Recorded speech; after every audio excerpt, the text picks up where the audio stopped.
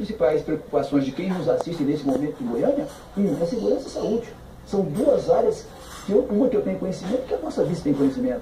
Eu acho que Goiânia tem que acabar com essa tradição politiqueira. Prefeitos, prefeitos, não, tem que colocar técnicos de gestão. Mas em relação a isso, o senhor enfrenta a crítica do, dos adversários pela falta de experiência na gestão pública. Além disso, o senhor, como até agora o senhor disse, tem apenas um partido nanico na sua coligação. Onde o senhor vai encontrar, então, quadros para a sua equipe e com qual, na Câmara, como é que o senhor vai fazer, com qual base vai conseguir aprovar projetos, caso eleito? Em uma gestão nossa do futuro, eu acredito que agora vai ter uma grande renovação. Nós não vamos negociar cargos na prefeitura, não. A gente sabe hoje que quem tem muitos partidos políticos, Lilian, ele está vendendo. Ou compra o partido e dá dinheiro agora, ou dá dinheiro depois, ou então ele rifa secretarias. Nós vamos preencher nosso quadro apenas com pessoas técnicas, com os melhores funcionários, com os melhores servidores. Nós temos muitos mestres, doutores, nós não vamos rifar as secretarias. Você tem uma ideia, no nosso plano de governo, a escolha do secretário de Educação será realizada pelos professores e pelos funcionários da área, para acabar a interferência política. Hoje, para você conseguir uma vaga na creche ou numa escola, você tem que implorar com o vereador. Nós temos que acabar com isso. Então eu penso que é possível um momento de mudança e de reflexão do eleitor. Então, é... mas você não conseguiu agregar muitos partidos, delegado Valdir.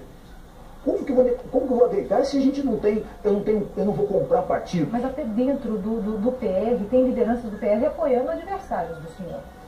Eu digo o seguinte, menina, você escolhe um time, você escolhe um amor, você escolhe o candidato que você vai caminhar. Agora, eu não vou fazer, Lilian, negociatas para garantir apoio. Eu vi, eu vi que o tempo todo né, os prefeitáveis têm procurado apoio do partido A, do vereador B, do fulano de tal, do ciclano. Não, eu não procuro, eu não procuro apoios, não. Eu procuro o eleitor, cidadão. Para você ter uma ideia, hoje eu tive no trade do turismo, num debate hoje pela manhã.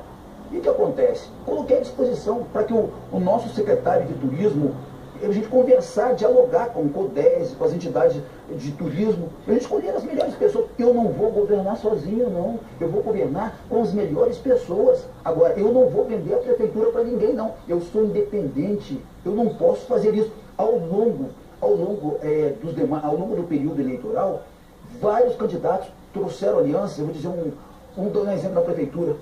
Para ter, ter um partido, né, um candidato deu três secretarias no governo do Estado foi oferecido duas, três secretarias. Eu não vou fazer isso, comprometer uma gestão.